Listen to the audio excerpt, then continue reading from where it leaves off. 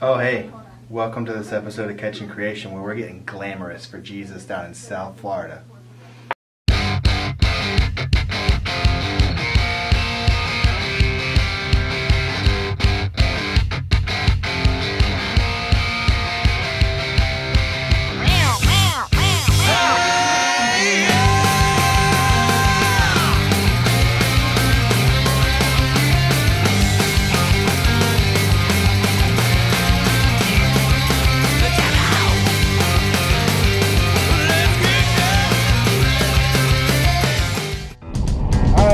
Up, guys?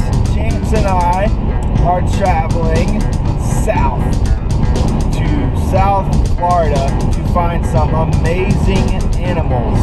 We're going to be speaking at Calvary Chapel, Fort Lauderdale. We'll be speaking in Macon, Georgia tomorrow, and we're just traveling and having a good old time. So sit back and enjoy it. Here we go.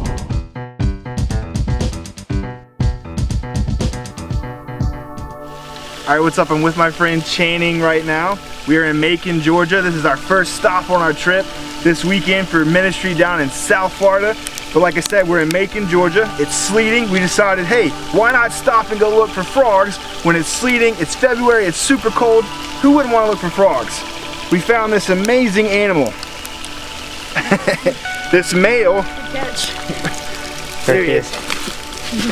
Hey, I don't want to step on I it. got him. I'm gonna hold him tight this time.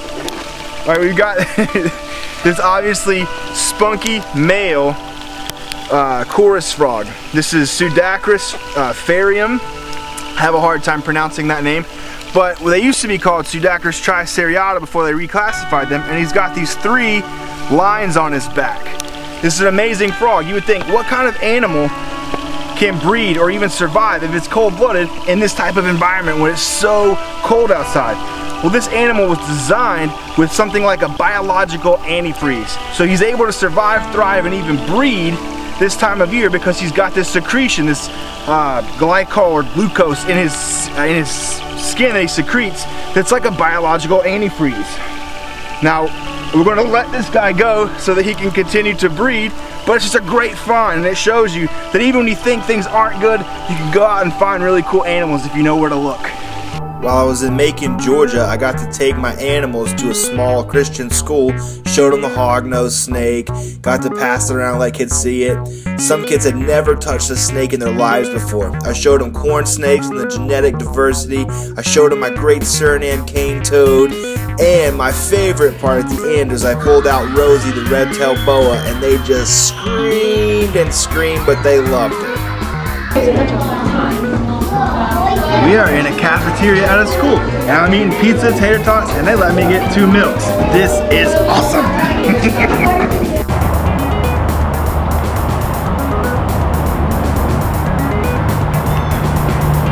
Alright, check it out. We're driving down the highway. I say we need a little bit of fuel, and then I look up and there's a sign that says live baby gators, ice cream, fudge, all the wonderful things that I love. So here we are, we're gonna go check it out.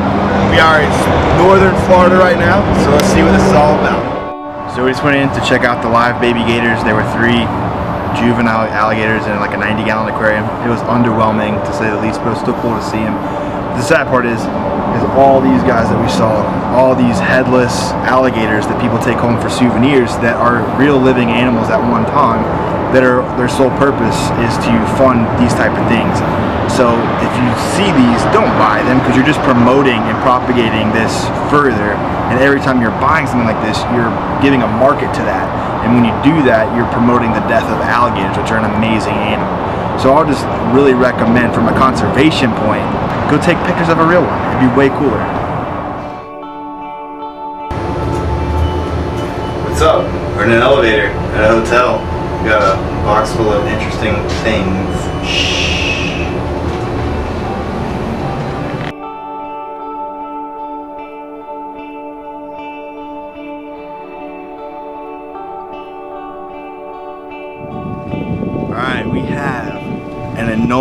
This is an invasive species of anole, probably from the Bahamas or Cuba. You can see he's got this sail fin looking thing on the back of him, But he is a male, and I know this because he's got this thing called a dewlap. And he's displays that as a territorial display. He'll also sit on the trees and go, he'll bob his head and make you know that this is his land, his territory. He is not happy about us kind of messing with him. You see, he's not even as pretty as he could be because he's in shed right now. His skin's coming off and reptiles will do that every so often. They'll shed their skin same way we do, except they do it all in one piece, whereas our skin sheds about every day. It'd be kind of gross if you stepped out of your skin every night. This is just an amazing animal and anoles are a very invasive reptile in South Florida where we are.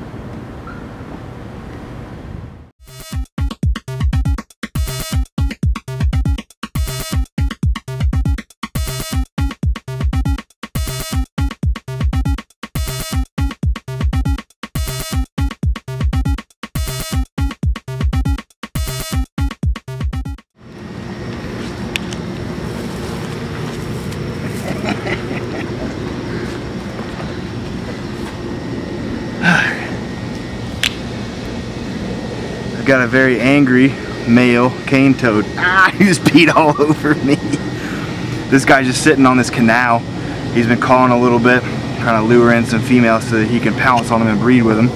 But this is one of Florida's most notorious invasive uh, amphibians, the cane toad. They've been here since the early 20s and uh, they're not going anywhere. They've established huge populations. They're big, they're strong, they're poisonous, these guys have these parotoid toxin glands which are behind their eyes, which is exactly what the word parotoid means. And they're full of toxin.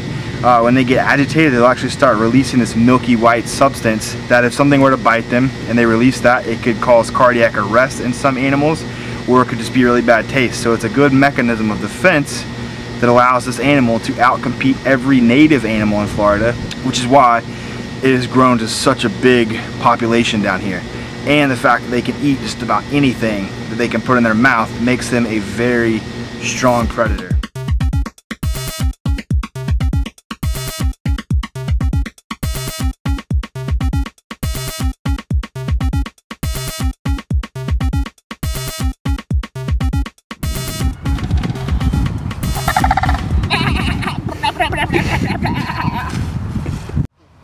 I'm gonna give you a little lesson in peer pressure you should never succumb to peer pressure because right now my friends, my peers are telling me I should go try to catch a baby duck and the mama duck is me.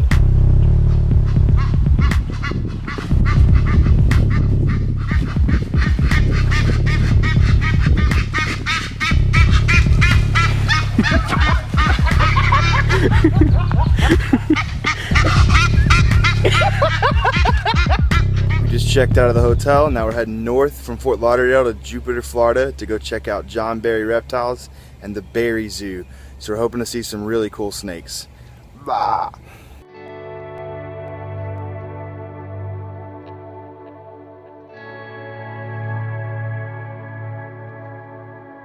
Check this out. I'm here with my friend John Berry and we have some amazing boa constrictors that I want to talk about with you. This is a Hypo Chaos Boa that my friend John produced and this is an adult female, a breedable size adult female snake.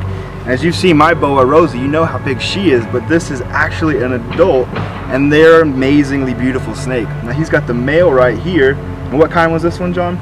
This one is a hypo blood. This is a two-year-old snake, and um, they don't get uh, they get about twice as big as this. But um, you know, when you see an adult boa that's about the size of a female corn snake, that, that really works for me. You know, I, I love boas, and um, but they get a little bit too big, and that's the cool thing about the Central American boas.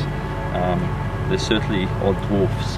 Where are they endemic in Central America? Is all over the country or uh, certain localities? The um, you have one species of boa at the moment found from Colombia, boa constrictor imperator, right the way up to northern Mexico. So it's considered one species taxonomically. However, um, there's certainly locality differences. So if you look at a Sonoran desert boa, it's very different to a boa that comes from Nicaragua. And this one actually comes from Nicaragua, and that one does as well, um, as opposed to one that comes from Panama and the, as they go further north, they get smaller. Right. So they're actually really cool. That is cool. If you can see in the sunlight, I don't know if you can see it, she's iridescent. She's got just a whole rainbow of colors on her scales, and she just is a remarkable, um, just beautiful animal. And, and they're really placid as well. You know, with uh, a lot of these snakes, um, you need to handle them and get them used to being handled. And once they, when they, when they're babies, they're a little bit nippy because uh, you know in the wild everything that comes along is going to eat them, so uh, they got to defend themselves. But uh, once they grow, they're really placid, laid-back animals, and um, boas make make great pets. Um, a lot of people like them because they're, they're easy to, to care for, and they're more of a display animal than, than a lot of snakes. You know, they're beyond active when they climb. They're pretty. Um, they're almost semi-arboreal, you know, they hang on with that tail. That's typical of boas. They get a good grip with with the tail, and um, you know, they, they, they hang on with that, and, and they're pretty strong as well. You know, boas are probably um, the most muscular, strong snakes of any kind. Yeah, she you know, feels for like size. just a They- they get solid good muscle. around you. Yeah. yeah. Cool.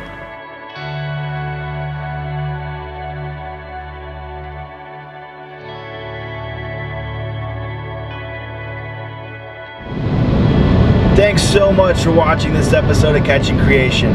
We're leaving Florida in our rearview mirror and heading back home to North Carolina where we hear that it's snowing.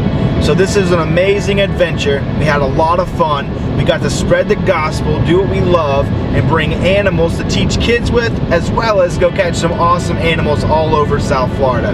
God is really good. We met amazing people along the journey, and I hope you enjoyed this episode. Until next time, live your life as an adventure and keep your faith strong. This is Stan Lake signing off. You guys have a great day.